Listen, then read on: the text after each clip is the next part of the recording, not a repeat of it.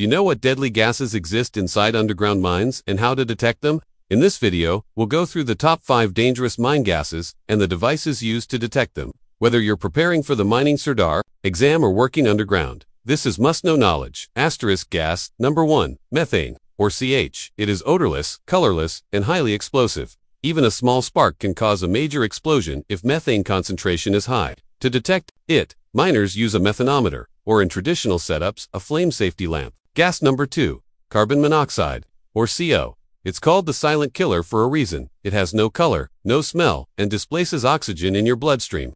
High exposure leads to headache, fainting, and even death. Detection tools include CO detector tubes and digital CO sensors. Gas number 3, hydrogen sulfide, or HS. It smells like rotten eggs at first, but in higher concentrations, it paralyzes your sense of smell, making it even more dangerous. It can cause eye irritation, breathing difficulty, and nervous system failure. Miners detect HS using multi-gas detectors. Gas number 4, carbon dioxide, and gas number 5, nitrogen. Both are non-toxic, but they can silently replace oxygen in the mine atmosphere. This leads to asphyxiation without warning.